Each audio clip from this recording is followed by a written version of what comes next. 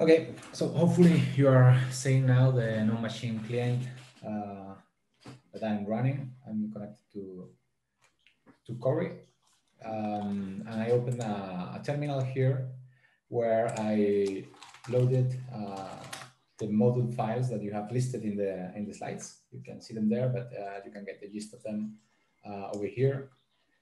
Um, the trainer and the analyzer and the G GCC uh, compiler with support for OpenACC. I have allocated a, a, GPU node that I'm actually running, uh, and I will run the demos from. Uh, again, you can see the, the commands to. Javier, um, sorry yeah. to interrupt. Can you make slides, uh, the, the window bigger and the fonts a little bigger as well? Yeah, hopefully.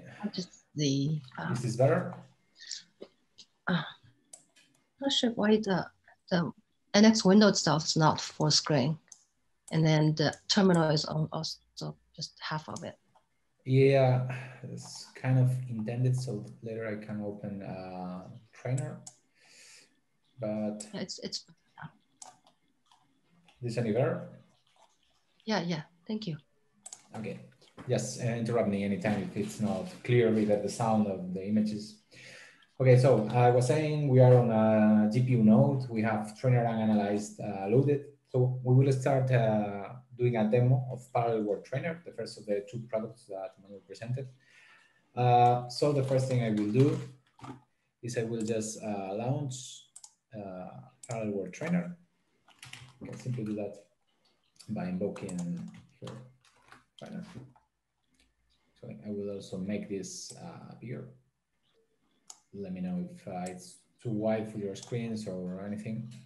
Hopefully it's okay. So uh, just, just, just seeing a, a screenshot of this uh, graphical user interface that the Parallel Trainer uh, offers. It's kind of like a lightweight integrated development environment where you can just uh, open any uh, source uh, folder that you have, any project, and start experimenting right away with different parallelizations and it's divided in the in the projects uh, explorer where you can just uh, browse the different source files and click them and create any file well, like like any IDE, the editor, and just the version manager. Then we have several consoles here on the on the bottom. So uh, the Power Trainer comes with a glossary that uh, comes in handy when you are uh, learning. So like I said before, the trainer is intended for uh, experimenting and learning, then a more advanced user will probably be more comfortable with uh, Parallel Analyzer that offers this and some other features. And here you can browse different terms and get different levels of details. And it also comes with some uh, bundle examples that you can install from here. So I will just do that. Um, I will do, do this in the, the scratch. Okay, so it confirms that it was successfully copied on the examples folder there. I will just open that folder right away. Okay, so this is the folder created just now. And here you have different folders, okay? The text folder have uh, different examples for what Manuel uh, showed before, uh, where you can get, for instance, different defects and recommendations will quickly show this. So again, you have all this information available uh, in line in the in the Parallel trainer. That defect, all these other recommendations here. But uh, I'm interested now in showing you a demonstrator with the with the PyCode example. So uh, here you have other codes. We will use Mandelbrot uh, later for analyzer. And you have these three examples that cover the basic uh, quick start with trainer. So let's open Pi. And you will see that there is a, a README file where it shows different features of uh, analysis that this example will cover. So by going through these uh, examples in the quick start folder, you can get an idea uh, of all the features offered by, by Analyzer. So right now, uh, we will work with this Pi file. I just double click it in the Project Explorer. And it shows here an green circle, which is an opportunity for parallelization. But before parallelizing it, I want to execute this and see what the sequential version, uh, what performance does it have. um, I will just check here that I will increase the size of the problem. So it takes a little bit more time. Uh, I used to run this in my laptop, which is slower. And you can just click run. And of course, uh, we just open a folder with uh, source files. So uh, trainer doesn't have any idea of how to build and run your code. So we will fill that information. We just enter the make file, uh, the make command, sorry, and then the make run command for run. Click OK, and then it will first build it and then run it. So you see that in its dedicated console, you see the output for each stage. So this is the output for the build, and then the output for the line. So it, it took uh, over one second to execute the sequential version of the code. So let's see what Trainer can do for us. Let's click the green circle. Um, we've seen before, there are a bunch of options here. We can select for OpenMP, OpenACC, standards, CPU, GPUs, and different paradigms. Just leave it as it is. Let's try with the default options what the parallelization uh, looks like. So maybe you've just noticed that a version was created here on the right in the version manager. You can at any time restore the version clicking on this button or create a new version here. For instance, I will create now a by OpenMP new version. So one of the key things that you can do with Trainer in a very quick way is to switch back and forth between different versions and perform experimentations. So let's experiment with this uh, parallelized version of Pi. So I will just click run, it is building again, then executing. And now we see that the time is slightly over half a second. Okay, before it was one second, now it's down to uh, a little bit more than half a second.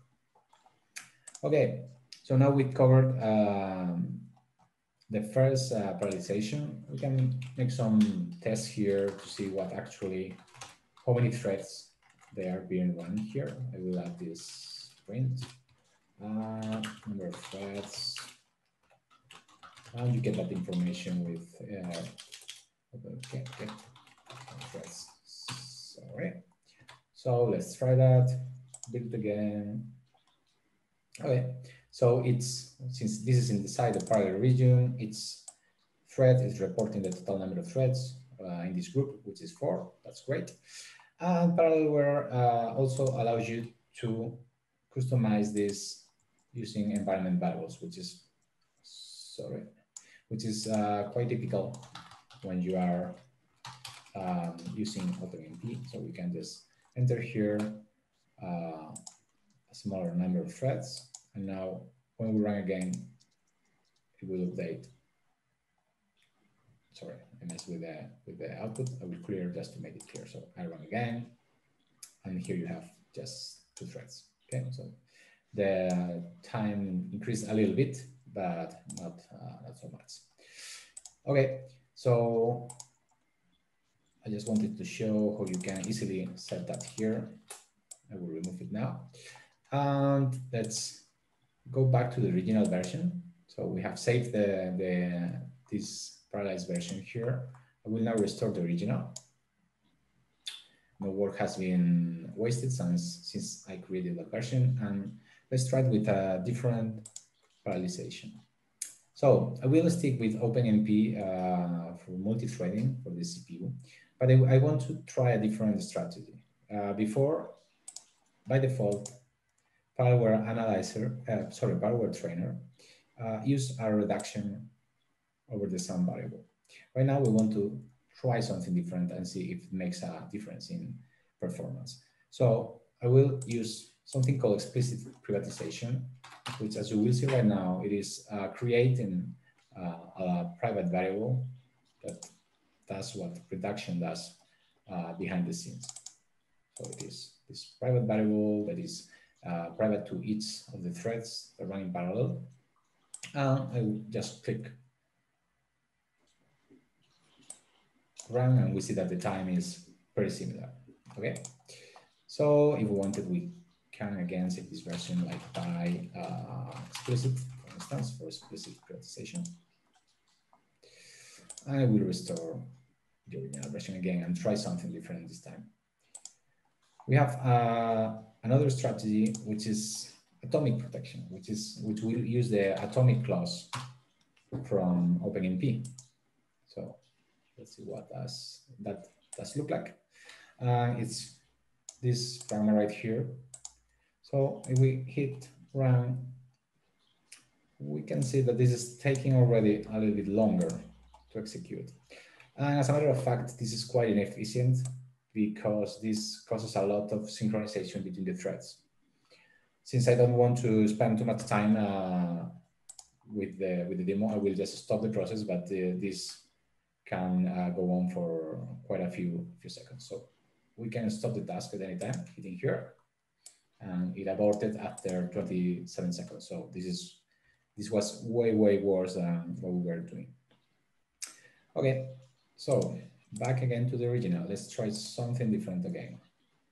Let's keep experimenting with the different options that we have in trainer. Uh, now I want to go for the for the GPU. So I will have to change the compile command because I don't have in the makefile the instructions to do the compilation with offloading. So I will just enter here the command with for GCC. If I go with OpenMP, I need to specify the sorry the upload this of course you can uh, update your makefile instead of doing it here.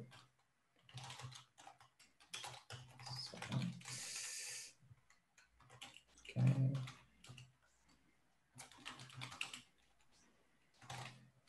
Okay, hopefully I typed it correctly. Let me just try one second. Okay, seems like the syntax is correct. Great.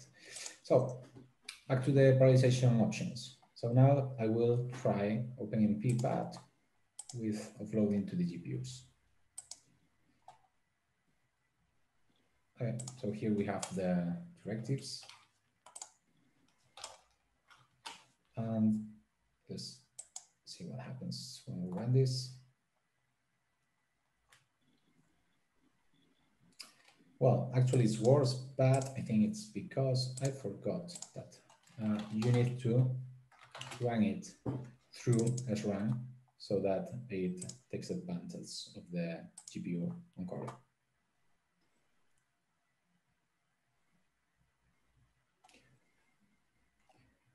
Well, not much of a difference, it's still over three seconds. So it seems that for this computation, uh, the time that we got on the GPU is worse. Okay, let's try with OpenACC, see if it makes any difference.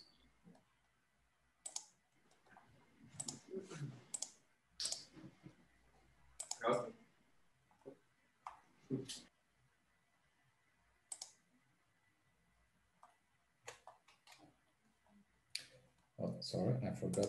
I have to change the flag here from OpenMP to OpenACC. Otherwise, it will just never mind the flags. I will clear this. Uh, okay. So it seems that the OpenACC implementation uh, turned out a little bit better. So now it's a comment here. Yeah, GPU, on GPU with GCC compiler, um, it's not as good as the other compilers I mentioned uh, in my talk, which is uh, LLVM for uh, OpenMP and uh, and HPC SDK for for OpenACC. So this is just for uh, you know directives and code of uh, modification purposes, use GCC is great, but for your performance, please use other compilers. Yeah, absolutely right. Like the same applies, like you said before, for OpenACC. I mean, depends on the exact technology. Uh, you want to change your compiler. Here, we're just doing all the demos with GCC, but uh, that's absolutely right, and you should uh, pay good attention to that. Okay, so uh, I know I'm speeding a little bit. We are a little bit tight on, on time, but uh, hopefully you've seen the different options that uh, you can perform or you can implement with Power Trainer, different parallelizations, and how you can quickly switch between different versions. Here I just saved one, one of these versions, but I could just restore it again. I could have created more versions as I did different parallelizations. And the key here is that you can experiment and you can also uh, dive in these terms here and have this glossary, which is really, really handy when you are learning and you are getting started with this. And of course, making quick modifications. You also have the effects and recommendations uh, that should guide you whenever you make a, a important mistake or something that we can detect.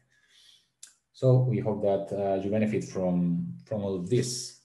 So I don't know, Manuel, if you have any remarks regarding trainer or we shall move to analyzer. Uh, I think we shall we shall move to analyze. I think we, it discovers the basic usage to experiment with the trainer from the CPU, using the CPU, the GPU, the versioning system. So I think it's it covers the basics of the usage of the tool. So I think it's it's good. Yes, thank you. So move. It's great. Thank you for the for the demo. Yeah, I, I think it uh, covers what we need to learn firsthand. Great. Okay, so let's move back to the panel here. Again, we are still on the node. We executed the Power Trainer from there, so we could uh, run the commands uh, directly on the GPU node.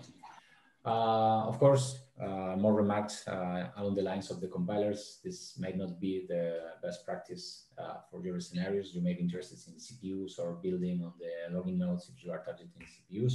So bear that in mind, but here we just want to make the demo as, as fast and, and easy as possible. Okay.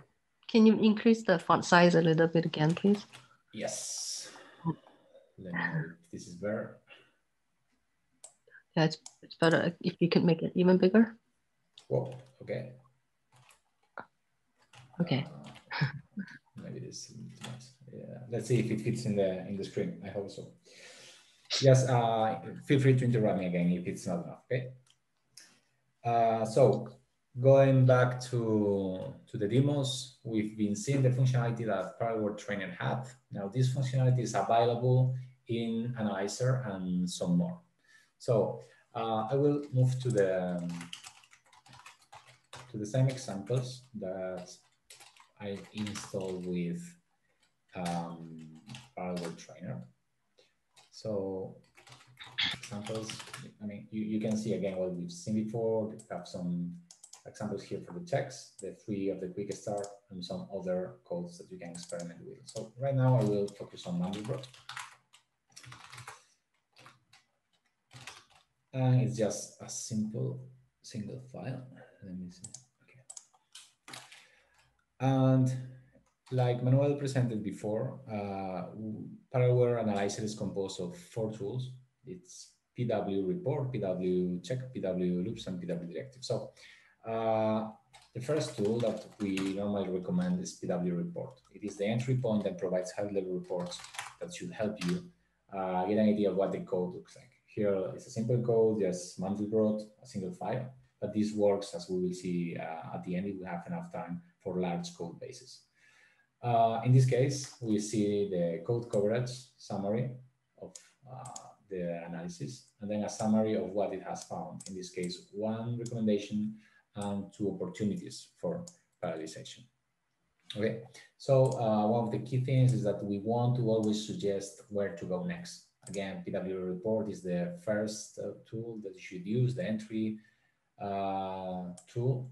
So if uh, you want to get some details on what is not analyzable, it offers you a recommendation. If you are uh, interested in defects and recommendation, it tells you to use PW check and for opportunities, PW loops. Right. So uh, let's start by using PW check. and it reports here one recommendation. It could be this one over here, and then a summary on the bottom of all the different recommendations. In this case, it just detected this one. It is telling you that you should rather pass the individual um, um, struct fields as parameter instead of the whole matrix. We can also tweak the code a little bit to show you an example of another recommendation. So what I will do is uh, this iter variable here, I will move it outside the loops, okay, the declaration. So right here, can just insert here and define it right there. That should be enough. So I run PW check again, and I get a new recommendation. Okay, now it finds a couple of them. So I can move this a little bit. Okay. So here you have it. It is telling you that you should move back uh, the declaration iter to the innermost possible scope, which in this case is where it was correctly defined before, right here. So this is another example, one of the of those examples that Manuel uh, went over before that is uh, really interesting in, in, many, many scenarios. Okay, so this is a quick glimpse of what you can get with PWCheck. Also bear in mind that we are seeing, uh, in this case, um, recommendations, but it can also report defects. This is very useful, for instance, when you want to use this tool in, in a scenario where you integrate this, for instance, in a continuous integration and continuous delivery system, such as uh, Jenkins. Uh, so in its pull to your Git uh, repository, you would run PW check and ensure that there are no data races um, available here. One of the analysis that PW check has is a data race analysis. It will output you a CSV file that you can easily process. So uh, one of the targets is that we easily integrate with these kind of tools that uh, allows you to automate this kind of checks, like for instance, the data race analysis or data movement issues uh, regarding the, the GPU. Okay, so uh, back to what PW report was telling us before. Uh, we can now try PW loops. So uh, just now I was talking about how you can use PW check to detect defects, but uh, regarding recommendations, this would be like the first stage, the stage number one that Manuel introduced before, which was preparing the code for parallelism. So uh, you, you would rather use these recommendations to prepare the code, address those that uh, are, for instance, in your hotspots in your code that you need to prepare, for instance, to bring to the GPU. Okay, so we would be preparing the code for parallelism. Say now that you have identified those hotspots, follow that recommendations to uh, prepare the code. Now we are done with the stage one and we want to move to stage two, which consists in creating a parallel version of your code. So PW loops can help you with that. Let's execute PW loops for the Mandelbrot file. I will provide um, a report with the different loops that defines in the code and different properties. So the first uh, property is whenever we can analyze this code or not. This means that uh, the language features pres present in the code are supported by Parallel. So of course, this is a uh, yeah, a requirement that we are able to analyze the code.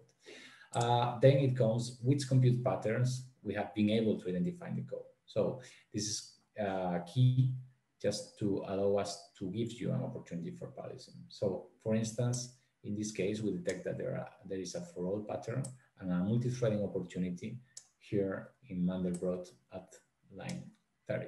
Okay, and we also provide you with information that we can uh, parallelize it with the two PW directives. This is what this means here. And also there is no value for the parallelized column, meaning that there is no uh, directives of primary. This is not a loop that it has been already parallelized. Okay, so uh, say that we are interested, for instance, in the loops in this function Mandelbrot uh, we can use the different sub-analyses available in PW loops. One very useful analysis would be the data scoping analysis, which provides more detail about the different variable usages. I will filter here the Mandelbrot function of the Mandelbrot zip file. Okay, so lots of information, which are for each loop. Here we have one at line 30, another one at line 31, each of the variables that are part of those loops and what kind of variables there are, what kind of uses there, there are in that in that loop. When it's, for instance, for height, it is a read-only use. For the variable call, it is a read and write. Whenever the variables have temporary, which is key for some uh, operations when we are parallelizing code. Whenever we detect a for all pattern, what kind of memory pattern we detect, for instance, here for the output array, which is written only, there is a for all compute pattern and there is a row major access. And then some information about the OpenMP OCC, OpenACC pragmas. One of the great feedback that we receive is that this simplifies enormously uh, the job of those people who have to parallelize code and um, spend a lot of time analyzing the different data scoping of the variables that are in a loop, which is key. Uh, it's a key step before you go and parallelize by inserting, for instance, uh, directives. So um, yeah, along these lines, you have another analysis which may be uh, of interest. We just change it here, and it is the memory footprint analysis. So, uh, so memory footprint. So I was just uh, showing you how over here. Let me scroll up a bit. The output array is of very much interest. And in the memory footprint analysis, we can actually see the array ranges that there are accesses, in this case for, for rating. Uh, this again is very useful information when you are parallelizing and you need to know what pieces of information uh, are involved. Not always the whole array is written to or read from you maybe only a subset. And this is key, for instance, when offloading to the GPU because you want to minimize, minimize sorry, the uh, data transfers and the movements of data between the CPU memory and the GPU memory. Okay, and then there are other useful analysis here. For instance, uh, I've been talking all the time about the code, but probably you don't. Just to add to that, while you are typing, Mm -hmm. uh, essentially, with these features, we are exposing uh, the core of the Parallel technology that classifies every single access pattern into each dimension of every single array in your codes. So there is uh, a lot of opportunity for improvement on our side on the preciseness, precision of this access pattern description, but we wanted to expose it uh, in this course because we think it's a, it's a good tool to understand or to help in moving uh, data to the GPU because you need to know what arrays need to be moved, but somehow you also need to know why or when analyzer or trainer are not able to determine the array ranges, you need more information of what array references could not be characterized properly. So this is the kind of sequence of invocations to Parallel tools that we are designing to help you in that regard. And the difference between memory access patterns and memory footprint is that memory access patterns we try to collect, describe precisely the order of all of the access to the array. So row major dictates the order at runtime of access to the elements, while uh, memory footprint, what is interested is in what elements have been touched, read or written, because essentially you don't want to know the order, you want to know the subsections of the arrays that will need to be transferred to the GPU it doesn't matter the order in which they are processed in the loops. Okay, so this, are the this is the first time we expose these two um, uh, analysis, which we think will be helpful, but just make you aware that it's the first time we expose it and we, we are working to improve the robustness and the precision of the access pattern description that you will find there. Okay, just for clarification. Okay, right. So um, what I did in the meantime, I just invoked this minus minus code uh, sub-analysis of PW loops for the function Mandelbrot. So we could see the code itself, uh, in this case, annotated with a P, which stands for a parallelization opportunity, in this case for multi-threading. So this is the output uh, right that we have been talking about and you just seen the information about which ranges it is written to, which as you can see, it is not that self-evident uh, or so obvious.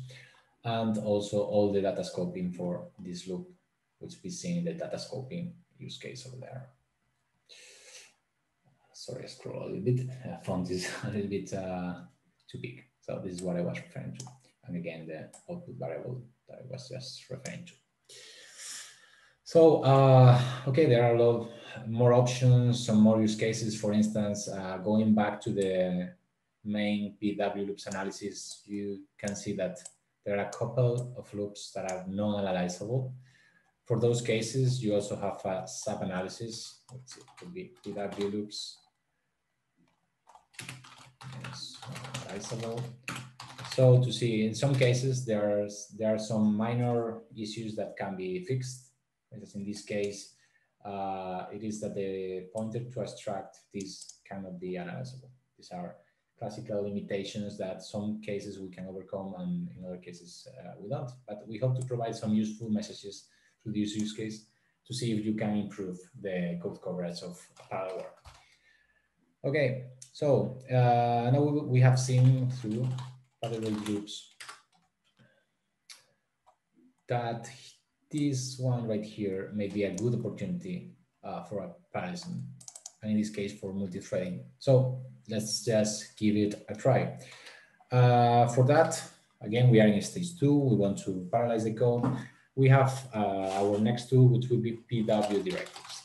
Okay, so PW directives, uh, you have some options here that correlate to those that you've seen in trainer. So for OpenMP, you can parallelize for multi-threading, for tasking using uh, a couple different options, and the same for offloading without, without teams.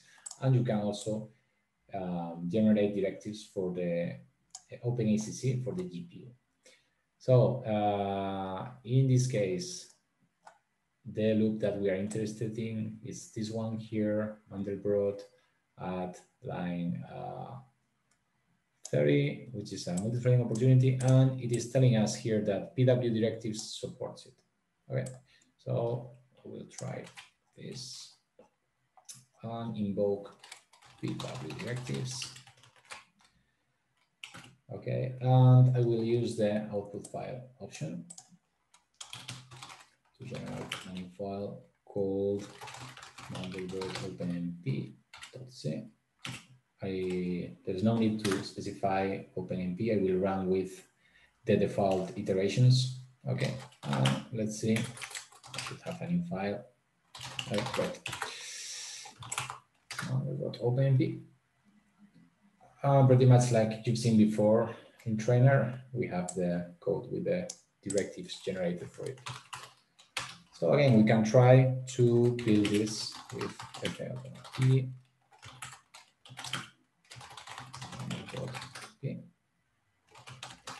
Uh, let's just execute it with a problem size of 3000.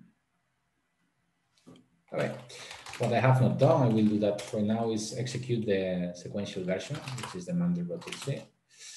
And let's and let's see what, how long does it take for the same problem size? Okay, a little bit more than than twice as much. So uh, this uh, default naive first uh, parallelization seems to be working for this uh, particular algorithm, which is great. This is similar to what we have been doing in the trainer uh, in the graphical interface. So uh, like I said before, PW directives has more options. We could try some other different options. For instance, we can parallelize for, sorry, to show you again the options. So I will now pass generate a new version. In this case, I will say OpenMP GPU. So let's add the OpenMP flag and tell it that we want offloading. So okay, so we see that in this case, I will, sorry, I will just use the editor. So the key here is that uh, for the GPU, we need to transfer the output uh, bidimensional array. And this is tricky because there is no deep copy as Manuel uh, talked about before in the presentation. So we have to use enter data and then do the computation on the GPU and then the exit data. So we can uh, copy the continuous segments of this uh, non-contiguous memory structure to the GPU. So that all the map is all the data sorry is properly mapped back and forth the, the GPU. Okay. And finally, let's see just a different parallelization also for the GPU, but in this case, let's go with OpenACC. So I will change the name of the output file. Okay, so let's take a look. Let's see. And here you have the OpenACC pragmas.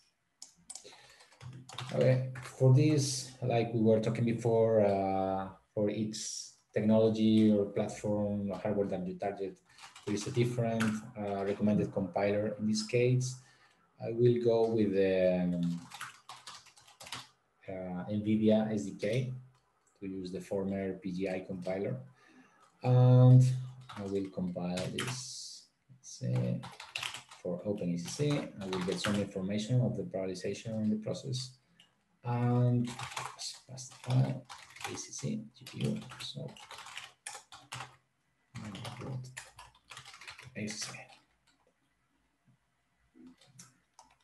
So here we have the information from minfo telling us what it has parallelized. Uh, let's try it. For the GPU, we need to use Erlang. This time I don't forget.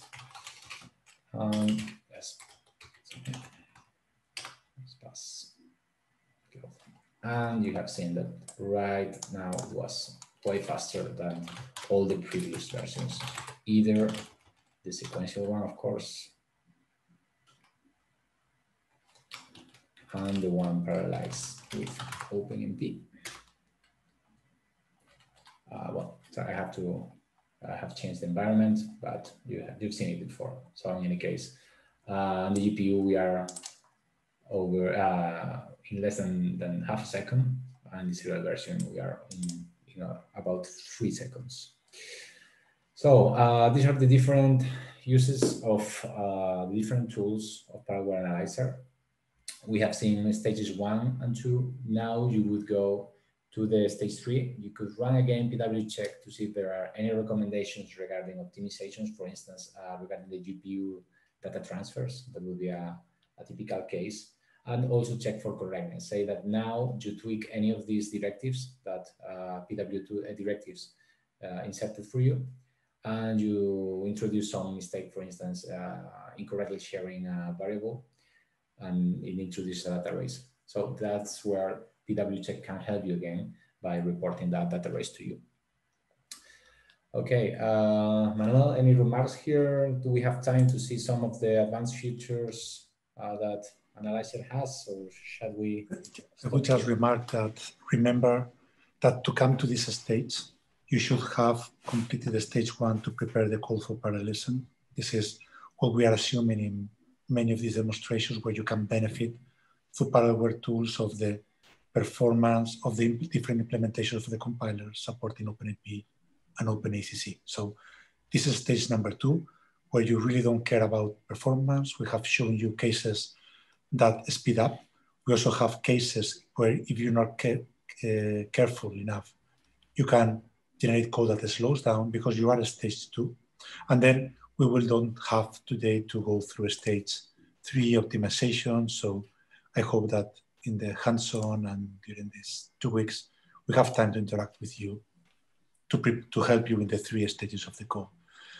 And just I would say, Javi, at least uh, five minutes so that they can see uh, the tools, the Power Analyzer running on bigger code bases. I think that that might be useful at least to show it very, very briefly without going to, into many details. Okay, um, so let me, well, I will just show a quick option here. Oh, sorry. Got my, focus on a different screen. Uh, so I was telling you before that integration is important. I mean, uh, one of the use cases is uh, integrating this, for instance, with Jenkins. So you may very well want to get this report in some other format. So for instance, we support JSON and CSV uh, outputs, so you mm, you don't have to rely always on uh, console uh, reports. Okay, so uh, some other features. Manuel was mentioning, for instance, uh, running over larger code bases. So let's see here, for instance, the NAS parallel benchmarks, in this case, um, OpenMP parallelized version, it contains uh, some more files. And we can analyze this also with the natural first step would be PW report. And I already know that I need some common folder here. What I'm doing here, this is something that we have not seen uh, in the demos before, is that we need to pass an include directory to PW report because uh, it needs to have access to all the include header files that are consumed by the source code. So in this case, there are some header files here in common. So we just use GCC and Clang uh, style syntax to tell it that it should look there when it is analyzing other code. Uh, we're running short of time, but otherwise I will show that when you do not pass this, uh, you can get a, a, report with the errors that you will see that, okay, you are lacking some uh, header files, so you will get to add these flags yourself. So this is not like uh, magic. We can, we can, can, we can use the, the Thursday time and to show more of the advanced features. Okay. After your home demo. Okay, sure, sure, that, that makes sense.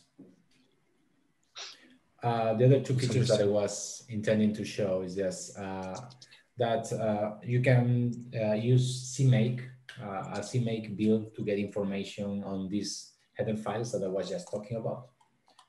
But here are some results that you have. For instance, we detect that there are over 10,000 lines of code parallelized over the total of 25,000 lines we find a pretty large number of recommendations and opportunities for parallelism.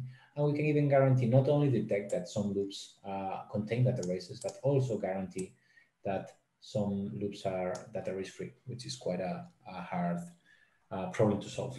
Uh, we can do that in many cases. Um, so Manuel, do you want to see something about uh, CMake or multi-file or some of these features or like uh, she suggested, leave that for another day? I think we should uh, move it to Thursday.